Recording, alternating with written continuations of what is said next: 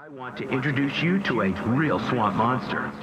He is a Florida native and someone who is passionate about preserving Florida's natural wealth, habitat, and wildlife. Wildlife, wildlife, wildlife, wildlife, wildlife. bonus won't crack the bonus won't crack the bonus bonus won't crack the tomorrow I was born in the swamp grass. A long last found trying to bong splash. Long fronds and wrong pass. Call blast when it's been beaten. So we meet again at a later date.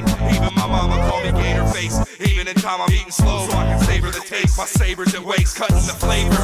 Here to cater the race to Florida. Home of the soul provider. The gold inside the wildlife. From the jury of all fears to juries of all peers. Summer heat sears, we swallow beers, Woods off, moisturize, trying to keep the good soft. The oyster eyes, born cracker, race swamp.